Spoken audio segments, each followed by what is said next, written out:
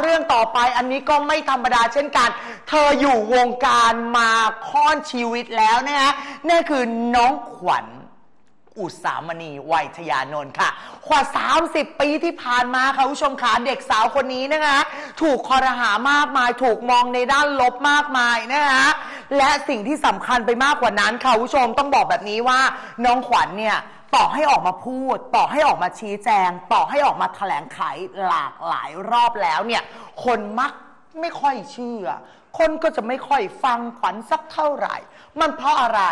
ล่าสุดเนี่ยเล็กซี่มีโอกาสไปเจอน้องขวัญอุสามณีเนี่ยฮะในงานบวงสรวงภาพยนตร์ มูลูหนังหน้าภูค่ะคุณผู้ชม และน้องขวัญอุสามณีเนี่ยเขาเปิดใจเลย หลังจากที่เขานะฮะมีกระแสข่าวออกมาถูกขุดคุยเรื่องราวในรอบ 16 ปีที่ผ่านมากับคุณปูมันธนาจำได้ไหมคุณผู้ชมที่บอกว่าปีนเกลียวรุ่นพี่อะอะอารมณ์ประมาณนี้นะฮะก็น้องขวัญเนี่ยถูกมองด้านลบโดยตลอด ถูกมองว่าเป็นเด็ก เกเรเป็นเด็กไม่น่ารักไม่เคารพผู้ใหญ่นะคะรวมไปถึงค่ะ ก็ถ้าย้อนกลับไปเมื่อ 16 ปี ลองไปเซิร์ชข่าวใน Google ดูค่ะคุณผู้ชมขาแล้วก็บทสัมภาษณ์ต่างๆ ของคุณปูมันธนาเนี่ยนะฮะมันก็ทำให้เด็กผู้หญิงคนหนึ่งอย่างคุณขวัญอุสามณีเนี่ยนะฮะก็ต่อให้ออกมาพูดอะไร คนก็จะไม่เชื่อ คนก็จะมองว่า อุ้ยเป็นเด็กเกเรเป็นเด็กก้าวร้าวนะฮะและล่าสุดเนี่ยอย่างที่บอกว่าเล็กซี่เนี่ยไปเจอน้องขวัญก็สัมภาษณ์น้องขวัญเนี่ยแหละนะคะเปิดใจเลยบอกว่าขวัญสรุปแล้วเนี่ยเรื่องราวใน 16 ปีมันถูกขุดคุยมาอีกครั้งเนี่ยขวัญสบายใจมากขึ้นไหม มีคนให้กำลังใจอยู่เคียงข้าง และเหมือนเคลียร์เรื่องราวอื่น ๆ ทั้งหมดที่มันเกิดขึ้น ขวัญบอกว่า อยากให้ฟังขวัญบ้าง อยากให้เชื่อขวัญบ้างหูคำนี้มันมันจุกที่ใจนะคุณผู้ชม ต่อให้เราจะพูดยังไง ถ้าคนมันที่จะไม่เชื่อ มันก็จะไม่เชื่ออยู่แล้ว แต่ถ้าคนที่มันเชื่อพูด คำนิดเดียวอะ่ะมันก็เชื่ออยู่แล้ว ขวัญบอกว่าพี่เอาจริงนะ ตลอดระยะเวลา 16 ปีเนี่ย มันเป็นเขาเรียกว่ามันเป็นจุดในใจขวัญโดยตลอด และคนเนี่ยไม่เชื่อ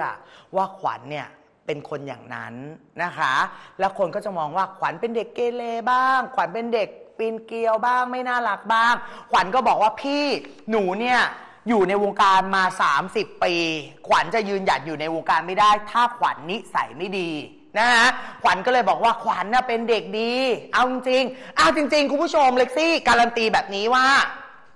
คือมีโอกาสเจอกับน้องเนี่ยตั้งแต่น้องเนี่ยนะฮะเป็นนักแสดงช่องสามแล้วเอ่อตั้งแต่เล่นช่องเจ็ดช่องสามแล้วก็มาเซ็นสัญญากับทางช่องเจ็ดนะฮะหลังจากนั้นเนี่ยโอนการเติบโตของน้องก็เติบโตก็มีเรื่องราวมีข่าวต่างๆ นานามากมายให้เราได้อัปเดต โดยตลอดทั้งข่าวด้านดีนะฮะหรือว่าด้านลบเนี่ยมันก็จะมีมากมายให้เราได้ตื่นเต้น เหมือนขึ้นรถไฟเหาะตีลังกากับเรื่องข่าวของขวัญอุสามณีเนี่ยแหละ แต่ก็ต้องบอกว่า เธอเป็นคนหนึ่งคือเด็กอะเมื่อก่อนคือเด็กตอนนี้ขวัญโตแล้ว และบอกคุณผู้ชมแบบนี้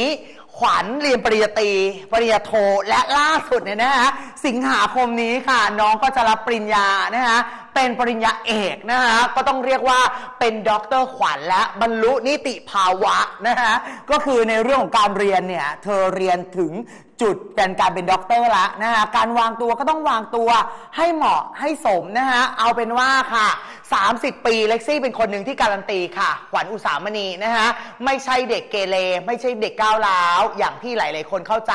ใครที่เข้าใจขวัญผิดเข้าใจใหม่นะคะ เอาเป็นว่าค่ะ เรื่องราวที่มันเกิดขึ้นให้มันผ่านไปเริ่มต้นสิ่งใหม่ๆนะคะขวัญอุสามณีเป็นที่รักของทุกๆ คนและรวมไปถึงค่ะ บรรดาแฟนคลับคนที่รักขวัญอุสามณีรวมไปถึงเกรียนคีย์บอร์ดนะฮะกลับมารักขวัญอุสามณีได้นะคะ